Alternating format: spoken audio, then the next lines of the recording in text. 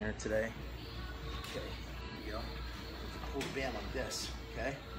We can do two bands too. If we had two tubes, we could pull two tubes at the same time. Okay? You get the idea? So these tubes you can get, it's real simple.